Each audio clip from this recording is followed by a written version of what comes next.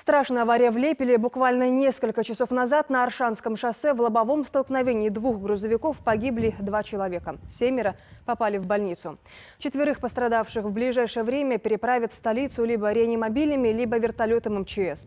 По какой причине ГАЗ-66, который перевозил рабочих Лепельского лесхоза, оказался на встречной полосе, сейчас выясняют специалисты.